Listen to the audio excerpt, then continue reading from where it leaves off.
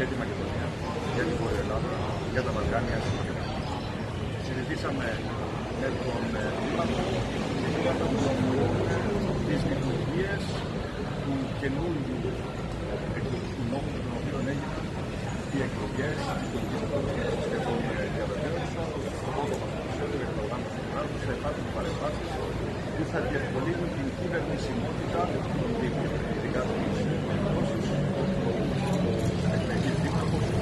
διαθέτει ένα σχετικά περιορισμένο αριθμό των Θέλω να γνωρίζει ο νέος δήμαρχος ότι και εγώ και αυτός και όλοι οι Θεσσαλονίκης έχουμε πολύ γνώση για την γεγονότα αυτή και θα είναι την επόμενη μέρα στην προσπάθειά του πάντα με τη συγγνώμη της περιφέρειας και των Ευρωπαϊκών και των να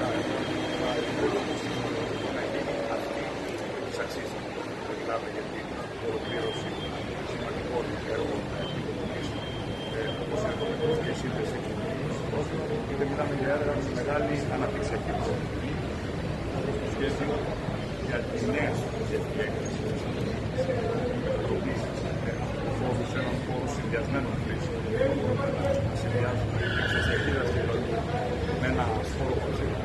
είτε μιλάμε για την αντιμετώπιση οροπεδιακών βομβών που μας χρηματοδοτεί αυτή η κυβέρνηση όπως το ζήτημα του στην πρωτοβουλία θα αντιμετωπιστεί άμεσα το ενδιαφέρον τους θα είναι πάντα εδώ, θα είναι στη Θεσσαλονίκη. Ζητώ και εδώ πέρα από τη Θεσσαλονίκη και από τους πολίτες να έρθουν μαζικά να ψηφίσουν στις εκλογές της Κυριακής. Η συμμετοχή με τον ψυχόλογο τη Αντία και επειδή οι εκλογέ αυτέ είναι εξαιρετικά χρήσιμε, δεν δικαιολογείται καμία χαλαρή και δεν δικαιολογείται καμία.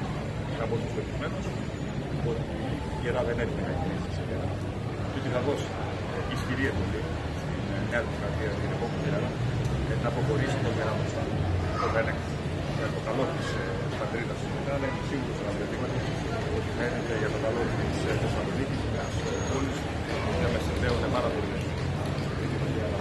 Και πάλι συγχαρητήρια, καλή δύναμη και καλή επιτυχία. Boleh. Kasih boleh.